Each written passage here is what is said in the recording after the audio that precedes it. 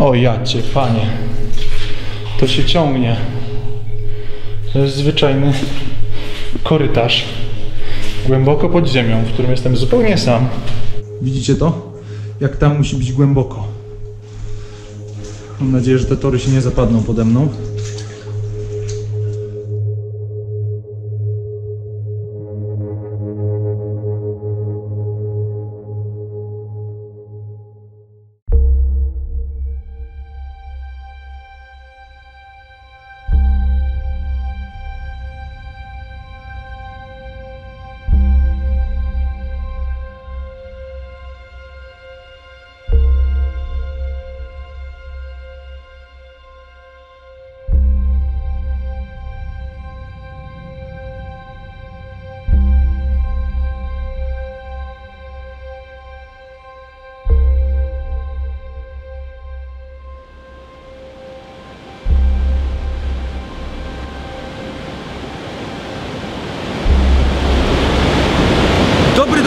Dobry dzionek jestem, żonny przygód i dzisiaj zwiedzimy sobie olbrzymią opuszczoną kopalnię w sercu gór we Włoszech. Nie wiem czy mnie słychać, ponieważ nie dość, że auta tędy przejeżdżają, to jeszcze jakaś rzeka płynie przez sam środek kopalni. Razem ze mną jest tutaj Wojtek, którego już znacie, Agares fotografy, Fi inaczej, świetnie to przeczytałem, oraz Sada, znana również jako czyli w cieniach ruin. Tak, linki w opisie na dole filmu.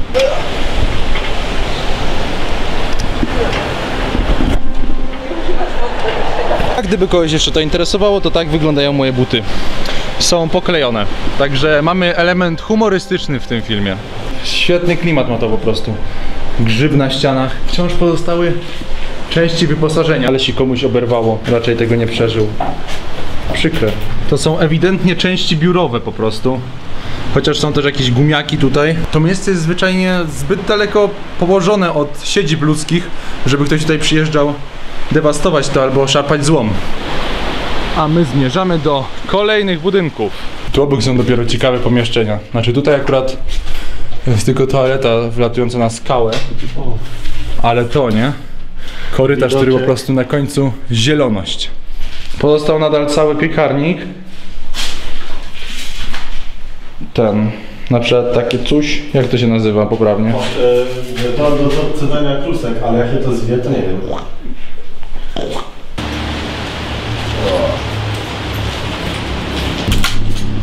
Odchudzeni? Dobrze, i na górę, tak?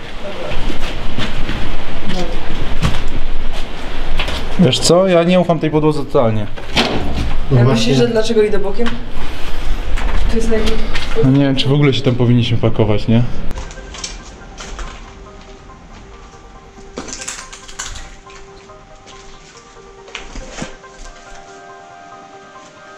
Ciekawie to wygląda bardzo. To jest to łóżko, które widzieliśmy z dołu. I to pomarańczowe poniżej.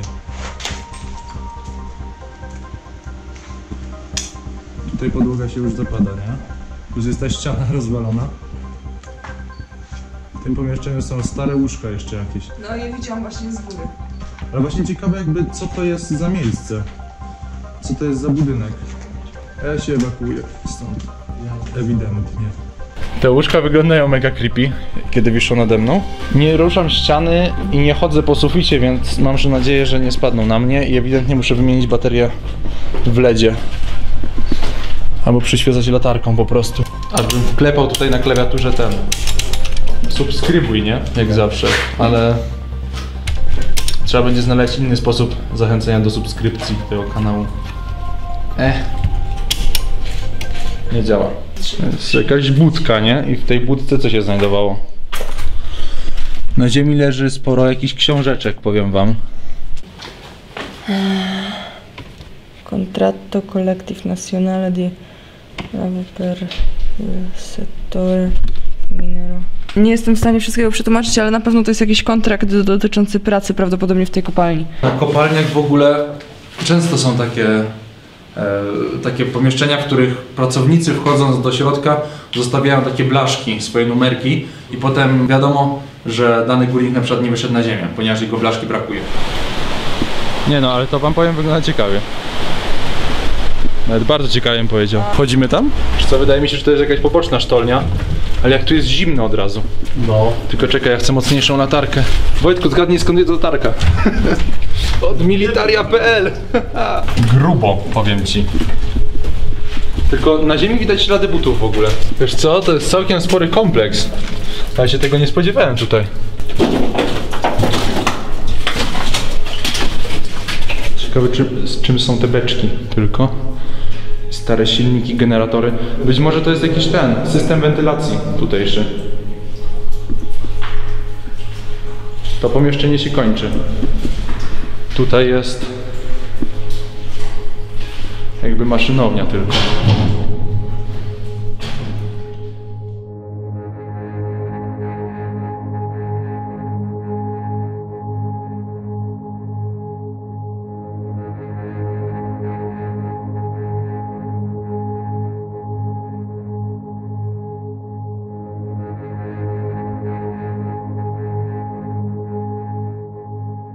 Tamten korytarz, ten drugi jest tak długi po prostu, że...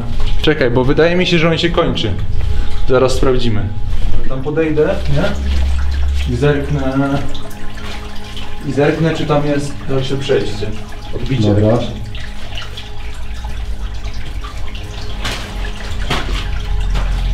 jest mnóstwo pleśni. A oprócz pleśni... Nie zawaliło. Ten korytarz tam dalej to jest taki... Taki już, że nie warto się tam zapuszczać, bo to się może dla nas nie, nieciekawie skończyć. Zawaliska, czy też jak to się nazywa. Przydałby się tutaj Leon No już było. z kanału Wyprawy Leona, nie? O, żeby nam powiedział. Leonie, odezwij się w komentarzu albo coś. No, a bym się tam nie pakował, wiesz? To wygląda na bardzo ryzykowne miejsce.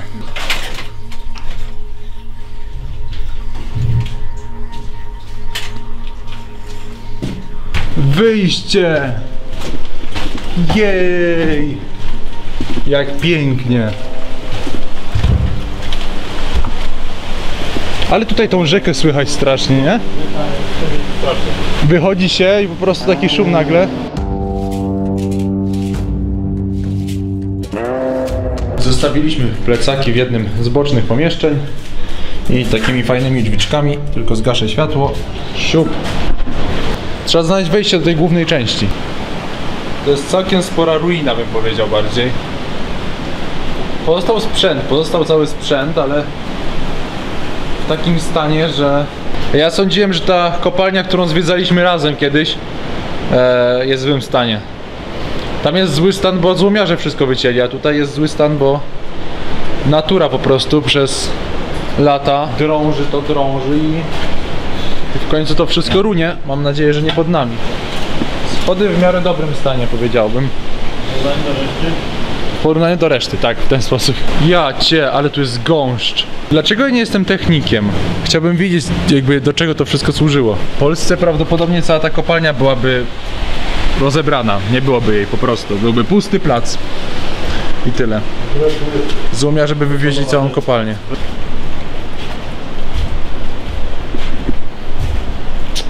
No tak, ta kratka raczej nie jest godna zaufania. Dach jest zrobiony z drewna, to jest drewniany dach, zwyczajne deski, także no mają w zasadzie prawo przeciekać. No i chciałbym przeprosić Was, moi drodzy widzowie, że tak mało wiem o tym miejscu, ale jestem we Włoszech, nie znam włoskiego. Większość informacji o tym obiekcie w tymże języku najpewniej dałoby się znaleźć. Po angielsku nie udało mi się niestety niczego wyszukać, także możemy tylko oscylować rok opuszczenia, a powody opuszczenia są mi nieznane.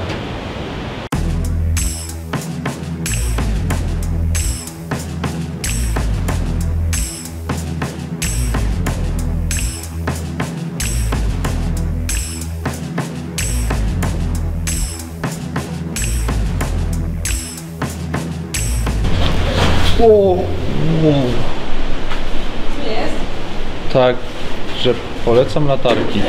Już myślałem, że cię będziemy szukali piętro niżej.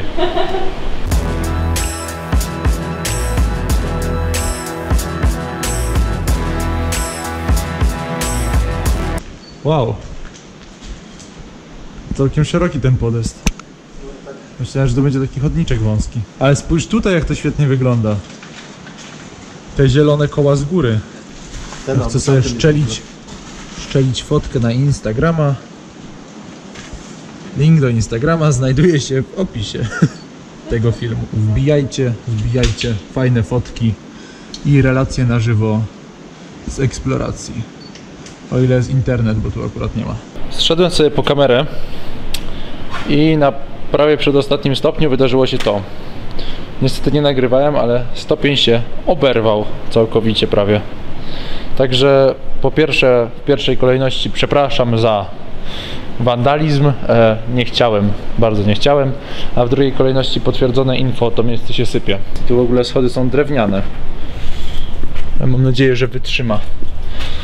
W jednej ręce kamera, w drugiej latarka. Stopnie muszą wytrzymać, bo będzie krucho ze mną. Zatrzymała się furgonetka w tym miejscu, które zwiedzaliśmy po drugiej stronie ulicy. Jestem ciekaw, czy jestem w stanie. Czy mam takiego zooma w kamerze, żeby sprawdzić, czy ktoś jest w środku. Ale wygląda na to, znaczy przynajmniej wydaje mi się, że nikogo tam nie ma. No, wydaje mi się, że nikogo nie ma. Coś jakby słysza... słyszałeś, nie? Jakby w środku Tak, jakieś tak, takie tak. głosy. Tylko Jakby ktoś łaził. jakby ktoś rozmawiał. Tylko, że jakby na zewnątrz tego nie słychać, bo masz y, rzekę. A w środku słychać, czyli jakby oni byli już w, już w środku. O plecaki się martwię trochę.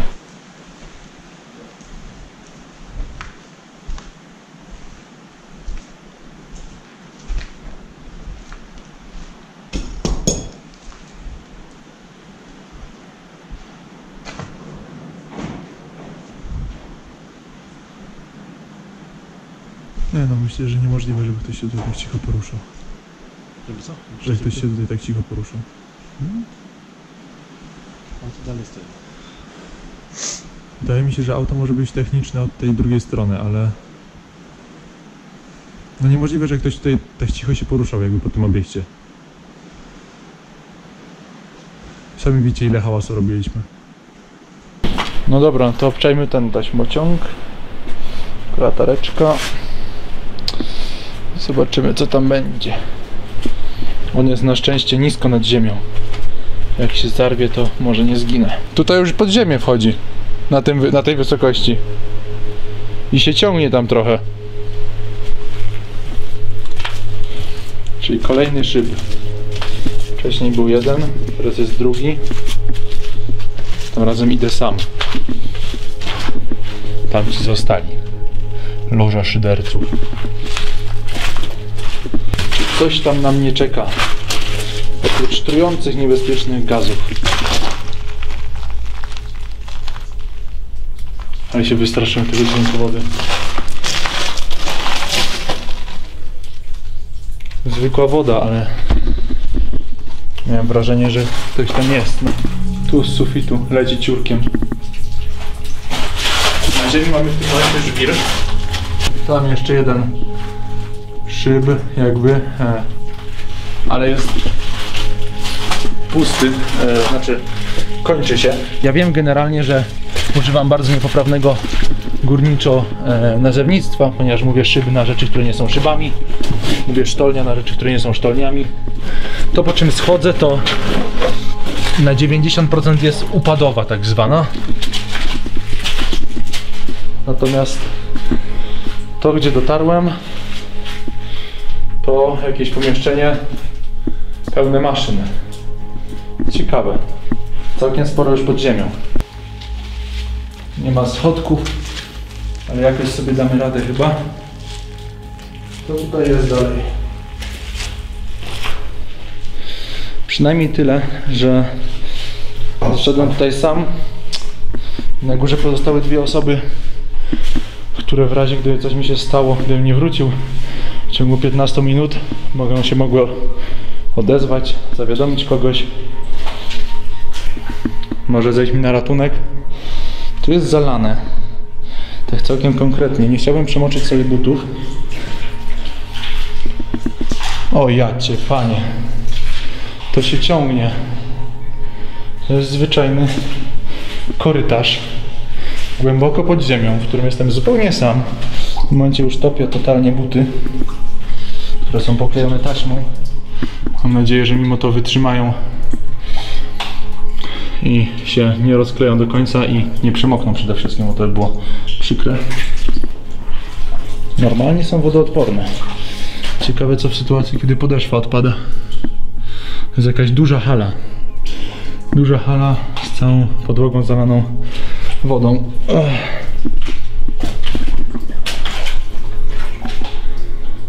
Czy tam się coś ciągnie dalej? O to jest pytanie.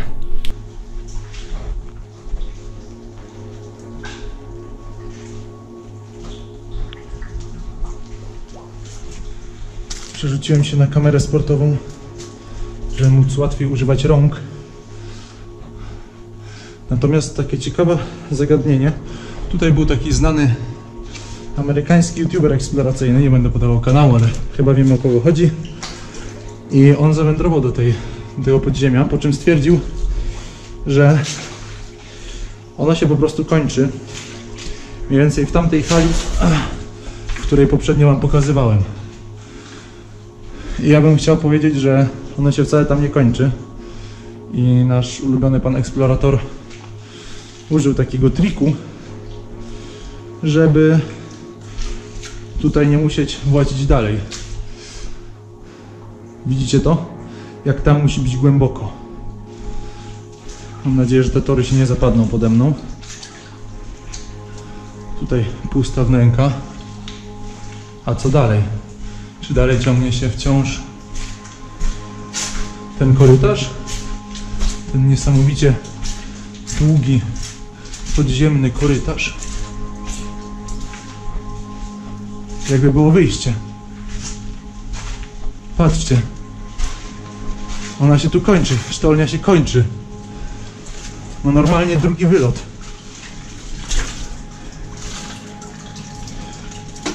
I kolejny korytarz, ale on już jest zalany na bardzo dużą głębokość tam nie wejdę. Nie, tutaj nie ma szans, że się tam wpakował. Zresztą, jeżeli się nie mylę, to on również jest ślepy. Chcę zobaczyć dokąd to wychodzi.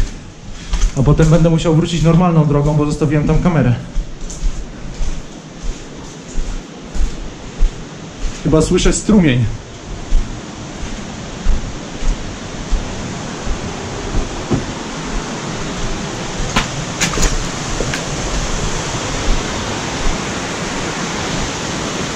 Jesteśmy wolni, jesteśmy radośni, jej!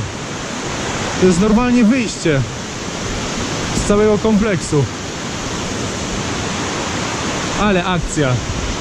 Dobra, e, jesteśmy wolni, jesteśmy radośni, a ja i tak muszę przejść przez to wszystko jeszcze raz, bo jak głupie zostawiłem tam moją kamerę główną. Fajna zabawa. Fajna, fajna. Oszczędzę wam tego brodzenia i po prostu spotkamy się już na górze przy moich towarzyszach dzielnych, którzy mnie pilnowali tam z góry, zdalnie. Co tam? Jak tam się bawicie? Przeżyliście jakoś te ciężkie chwile rozłąki? Wsadzić w XIV wieku. Aż tak dawno? Pojęcia nie miałem. Wyszliśmy przed kopalnię, na zapleczu kopalni. Wychodzi na to, że zbiera się całkiem niezła burza tam w tle. E, A my tutaj mamy nocować. Co prawda jest jeszcze wcześnie, ale trzeba znaleźć jakieś miejsce, gdzie nie przemokniemy. Tak generalnie wygląda nasze obozowisko. Tutaj znajduje się jeden hamak, mój hamak. 250 kg udźwigu. To znaczy, że prawie wystarcza na moją masę ciała. Tutaj dwa kolejne hamaki Natalii Wojtka. E, Jeszcze bez moskitier. I to sobie tutaj tak wisi sympatycznie. Mam nadzieję, że ta barierka się nie urwie, bo widzieliście w jakim stanie jest cały ten budynek. Natomiast tam jest wyjście, nasz prowizoryczny stolik i nic, pozostało nam już tylko czekać do nocy i dobrze się bawić. Tak wygląda sytuacja o zmierzchu. E, Kręcę to telefonem, dlatego że sprzęt filmowy, wszystkie drogie kamery i tym podobne schowaliśmy już. E, ukryliśmy już po prostu, zakopaliśmy pod takimi starymi deskami, żeby w nocy ewentualne osoby, które by się zjawiły w tym obiekcie, ich nie znalazły i nie ukradły. Dlatego będę filmował teraz telefonem. Natomiast zbliża się noc, ewidentnie, bo zrobiło się już w miarę ciemno. Tutaj pod schodkami schowany jest cały sprzęt. Natomiast tutaj postanowiliśmy jeszcze rozwiesić nad hamakami dodatkowego, dodatkową plandekę. Nawet nie przed, przez to, żeby osłonić się przed e, deszczem, bo przecież mamy dach nad sobą, tylko żeby osłonić się przed wiatrem. A tutaj są już trzy hamaki wyposażone w moskitiery, nasze plecaki, które trzeba będzie jeszcze związać i w takiej konfiguracji będziemy szli spać. Mógłbym przeprowadzić jakiś update tego, co się dzieje, ale dzieje się mniej więcej to, że jest ciemno, nic nie widać, leżymy pod plandeką i wcale nie obawiamy się różnych dziwnych odgłosów, które dobiegają z innych części kopalni. I to jest jak zwykle w moich odcinkach słuchowisko, które następuje wtedy, kiedy nie chcemy mi się włączać światła. Tak naprawdę światło tu jest, tylko po prostu e, nie widać go prawie w ogóle, bo jest słabe. Tak. I, i, I to wcale nie wygląda tak, że takie noclegi w opuszczonych miejscach są jakieś niezmiernie fascynujące. Najczęściej po prostu człowiek obawia się tego, że coś skrzypi, hałasuje, obawia się, że przyjdą ludzie bezdomni albo inne takie osoby i mu coś zrobią. Albo wiatr brzmiący jak ludzki głos. Tak, to, to, też, to też się zdarza. Także tak wyglądają noclegi w opuszczonych miejscach. I no nie wiem, chyba widzimy się rano, bo będziemy pewnie zasypiali. Było tak potwornie zimno w nocy, że to jest niewyobrażalne.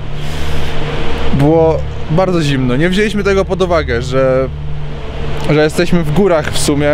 I w górach jest bardziej zimno niż nad morzem, gdzie poprzednio byliśmy jeszcze dzień wcześniej w Włoszech. Pola, Polar uratował mi życie w sumie, bo no nie miałem śpiwora żadnego ze sobą. Sporo osób będzie narzekać, że tyle o tym mówię, ale taka jest prawda, że w zasadzie gdyby nie militaria.pl, to no nie miałbym pieniążków, żeby tu przyjechać, a miałem pieniążki. E, Bo dostałem je po prostu, dostałem mnóstwo sprzętu, mnóstwo bardzo fajnego sprzętu, który testuję od kilku dni. Oprócz tych Mechanicsów, Lettermanów i e, latarek Olight, które używam na co dzień, to sprzętu kempingowego też jest masa, więc zaglądajcie do linku w opisie, tam będzie cała lista sprzętu, caluśka lista sprzętu, którego używałem podczas tej wyprawy. Obiecuję nie, nie wklejać tam linku do żadnego produktu, który by mi nie przypadł do gustu. Tak się umówmy. Tak wygląda profesjonalnie ogarnięte ognisko.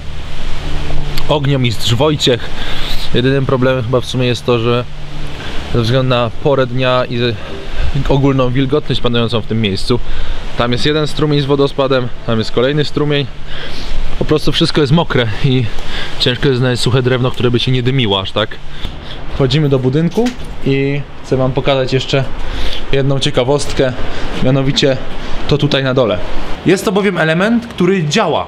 E, tutaj mamy to olbrzymie koło, stalowe koło, absolutnie niezastałe, którym możemy zakręcić i w tym momencie ta część środkowa zaczyna się nam poruszać znacznie wolniejszym tempie niż samo koło i reaguje na to ten tłok znajdujący się tutaj poniżej, który uciekł mi z kadru.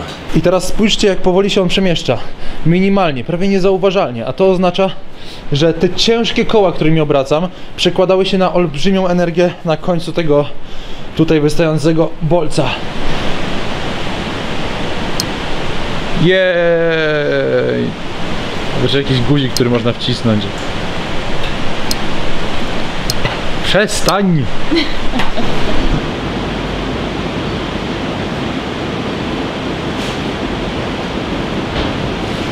Zgadnijcie w ogóle, co się stało. Stało się to, że... Czy kamera mnie widzi? Widzi mnie. Stało się to, że e, jesteśmy strasznymi leniami, nie chciało nam się stąd ruszyć i w sumie nam się tu spodobało, więc przenocowaliśmy tutaj jeszcze jedną noc. Także to były dwie noce. Widzieliście jedną, drugiej nie nagrywałem. Mamy wtorek, a nie poniedziałek jak wczoraj, nie niedzielę jak przedwczoraj. W każdym razie to jest chyba już czas, żeby się pożegnać i zajrzyjcie do opisu, zanim wyłączycie film, bo powiedziałem, że się żegnamy. Szybko, zaglądajcie do opisu. Tam jest dużo zdjęć, dużo fajnych zdjęć, mam nadzieję, z tej kopalni, od Agares Fotografii, od Wojtka i od Sady z projekt e, W Cieniach Ruin. Tak, więc tam są te linki w opisie, tam zaglądacie, tam są też linki do mojego Instagrama, do mojego Facebooka, na Instagramie na żywo często relacjonuję moje eksploracje, e, no i wrzucam tam foty z eksploracji, natomiast e, na Facebooku też się pojawiają różne posty, także tam zaglądać i zaglądać również na linki do militaria.pl, tych produktów, które używałem w tym odcinku i w innych odcinkach i które Wam przyobiecałem. I mam nadzieję, że widzimy się w kolejnym odcinku. Może jeszcze z Włoch, a może nie. W sumie nie wiem. Zależy jak bardzo nam się będzie chciało i jak bardzo będziemy się lenili dalej.